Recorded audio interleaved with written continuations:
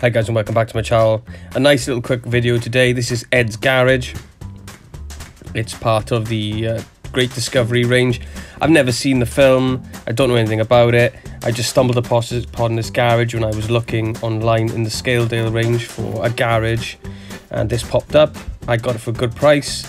I paid about £12 I think I paid for it delivered and uh, I've seen them going for £30, 40 pound on eBay which is just be honest is ridiculous but um, as I say, I wanted a garage. This popped up, and when you take it out of the box, it's um, it's nothing that would tell you that it was from Thomas the Tank unless somebody really is looking at it and going, "Oh my God, that's from the Great Discovery." I don't know how or how much it featured in the Great Discovery, so I really don't know. All I know is it's a nice little model, for the money that I paid for it, um, I can't really say uh, a bad thing about it.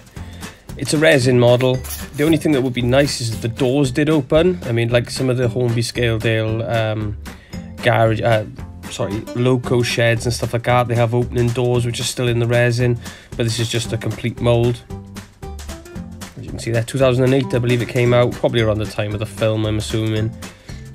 But I just wanted to get this out there and just give you a quick look at it.